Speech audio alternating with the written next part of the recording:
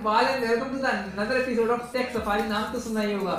तो फ्रेंड्स आज की वीडियो इफ़ेक्ट मैंने आपको दिखा दिया वीडियो शुरू में एंड आई एम श्योर आपको काफ़ी अच्छा लगा होगा, और ये बहुत ही आसान जो इफ़ेक्ट है, बहुत ही आसान इफ़ेक्ट है, और बहुत ही जल्दी बन जाएगा। और साथ ही में मैं आपको बताऊँगा कि आप इसको टिकटॉक पर कैसे अपलोड कर सकते हैं, कैसे अपलोड कर सकते हैं, जिससे कि आपको कोई प्रॉब्लम ना आए अपलोडिंग में। तो मेरी वीडियो को शुरू से लेकर एंड तक देखते रहिएगा, और वीडियो पसंद आए तो लाइक और शेयर ज़रूर कीजिएगा। और अगर आपकी कोई भी क्वेरी हो तो कमेंट बॉक्स में कमेंट करके आप बता सकते हैं उसकी आप जो सोल्यूशन है वो आपको बताने की कोशिश करूँगा पूरी पूरी, जल्द से जल्द। तो फ्रेंड्स वीडियो पसंद आए तो लाइक कर दीजिएगा और आपके अपने चैनल टेक सफारी को सब्सक्राइब करके नोटिफिकेशन बेल ज़रूर दबा दीजिएगा। और फ्रेंड्स इस वीडियो पे मेरा जो लाइक का एम है वो हंड्रेड का प्ले प्लीज़ मेरी जो एम है उसको कंप्लीट करने की कोशिश कीजिएगा। तो friends without wasting any time तो सबसे पहले आपको अपना कायन मास्टर एप्लीकेशन ओपन कर लेना है प्लस के साइन पे क्लिक करना सिक्सटीन डेशन नाइन चूज़ कर लेना है। इसके बाद आपको मीडिया पर जाना है और एक आपको बैकग्राउंड चूज़ कर लेना है, जैसे मैं बता देता हूँ। ऐसा बैकग्राउंड चूज़ करना है मतलब जिसमें आप नहीं हो। तो आप ये वीडियो भी शूट कर सकते हैं या फिर इसकी इमेज भी खींच सकते हैं, देख सकते हैं आप। सेम ऐसा बैकग्राउंड लेना है, जैसा आपने वीडियो में लिया था। ठीक है, इसके बाद आपको सिंपल क्या करना है, इसको थोड़ा बड़ा कर दीजिए। तो यार मैं आपको बता देता हूँ, मैं आपको सेकंड वीडियो शूट करके दिखा रहा हूँ। मतलब बना के दिखा रहा हूँ, क्योंकि फ़र्स्ट वीडियो में ऐसा कुछ नहीं था, उसमें केवल शूट करना था, आपको शूट करने के बाद बस ग्रीन जो कारपेट था, उसकी मैं की फ्रेमिंग करनी थी, वो मैं आपको यहाँ पर बता दूँगा कैसे करनी है, ठीक है? इसके बाद आपको लेयर पर जाना है मीडिया पर जाना है। सिंपल जैसी वीडियो मैंने शूट करके दिखाई थी, आपको ग्रीन स्क्रीन पर ध्यान रखिएगा। ग्रीन स्क्रीन पर जैसी वीडियो शूट करके दिखाई थी, वो वाली वीडियो यहाँ पर चूज़ कर लेनी है। तो चलिए मैं चूज़ कर लेता हूँ और इसके एक्स्ट्रा पार्ट को कर देते हैं अपन ट्रिम तो चलिए मैं जल्दी जल्दी इसको ट्रिम कर देता हूँ।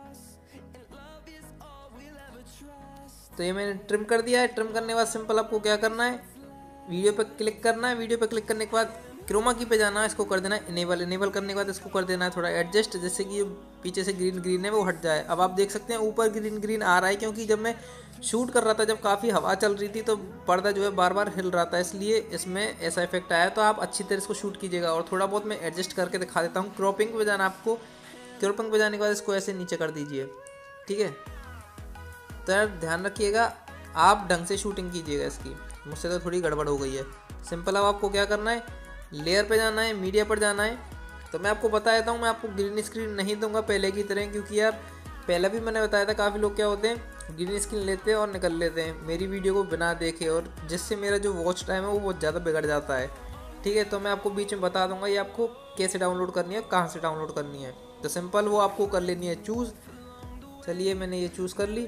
चूज़ करने के बाद आपको ग्रीन स्क्रीन का क्या करना है? क्रोमा की पे जाना है। क्रोमा की पे जाना है इसको कर देना है इनेबल इनेबल करने के बाद थोड़ा एडजस्ट कर लीजिए, जैसे ग्रीन ग्रीन चले जाए। आप देख सकते हैं, ऊपर नीचे ब्लैक पट्टी आ रही है, इसको सही करने के लिए क्रॉपिंग पे जाना है। और ऊपर से ऐसे नीचे कर दीजिए और नीचे से ऐसे ऊपर कर दीजिए तो जो ब्लैक पट्टी है वो हट जाएगी, ठीक है? अब सिंपल अपनी जो कारपेट है, उसको कर दीजिए नीचे। और अपनी आपको थोड़ा छोटा करके मतलब हिसाब से देख लीजिए और आप देख सकते हैं, बैक में जा रहा है तो ये रियल इफ़ेक्ट नहीं आ रहा तो इसके लिए आपको क्या करना है थ्री डॉट पर क्लिक करना है और ब्रिंग टू फ्रंट कर देना है तो ये फ्रंट में आ जाएगा। ठीक है? चलिए अब इसके बाद आपको क्या करना है, मैं बता देता हूँ। इसके बाद सिंपल आपको करना है, इस पर क्लिक करनी है अपनी वीडियो पर वीडियो पर क्लिक करने के बाद की एक ऑप्शन पे जाना है की फ्रेम पे। की फ्रेम पे जाने के बाद अब सिंपल आपको क्या करना है, जैसे जैसे मैं यहाँ पर इफ़ेक्ट बताऊँगा, ऐसे ही आप फ़र्स्ट वीडियो में कारपेट पे इफ़ेक्ट लगा देना, बहुत आसानी से लग जाएगा। ठीक है, थोड़ी वीडियो आगे करनी है प्लस के साइन पर क्लिक करना है। वीडियो इतनी आगे कर लेनी है, जितना भी आप चाहते हैं उतनी आगे कर लीजिए, जितना स्लो मोशन और फास्ट मोशन चाहिए, और इसको ऐसे ऊपर कर दीजिए। आपका सिर नहीं कटे, बस इतना कर दीजिए इसको। ठीक है? अब सेम आपको यहाँ करना है इस पर कारपेट पर कारपेट पर क्लिक कीजिए की फ्रेम पे जाइए प्लस के साइन पे क्लिक कीजिए जैसे जैसे मैं ऊपर जा रहा हूँ वैसे वैसे इस कारपेट को भी ऊपर करते रहिए।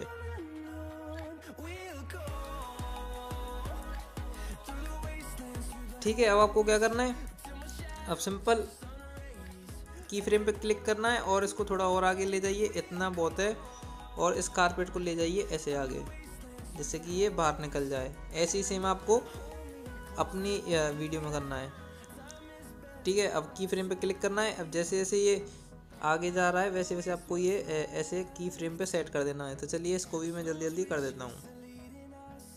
जब वीडियो पसंद आ जाए तो लाइक ज़रूर कर देना।